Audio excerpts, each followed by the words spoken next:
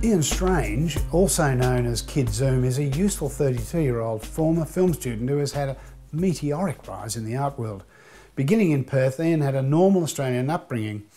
His first major break came when the American contemporary artist Ron English, the celebrated prankster father of Dollar Pop, sponsored his move to New York, mentoring him, thereby ensuring his smooth entry into the American art world.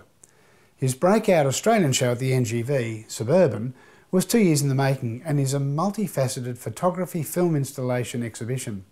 Strange worked with a film crew and volunteers in Ohio, Detroit, Alabama, New York, New Jersey, and New Hampshire to create photograph and film seven site specific interventions incorporating suburban homes. When the show opened at Fed Square, it was eventually closed down by the police as there were many, many more people than expected at the opening.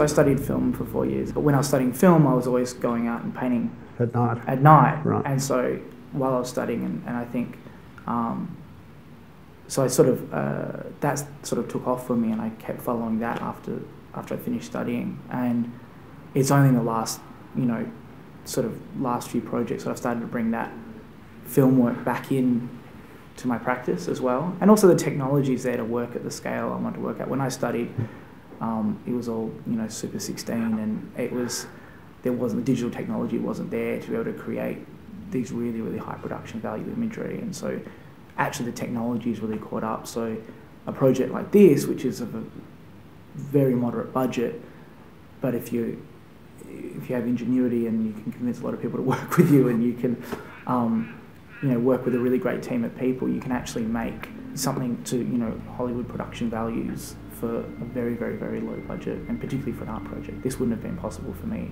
even four years ago to do. So, how do you go about raising funds to do something like that? Well, I, I mean, I, I, have a painting practice in New York, so it, eh, pretty much for the last two years, every painting I've sold, the money has gone. Oh, so you're self-funding? You're not, yeah. You're oh no, no. Yeah? I mean, I, I also got a DCA mid-career fellowship from Western Australia during the project.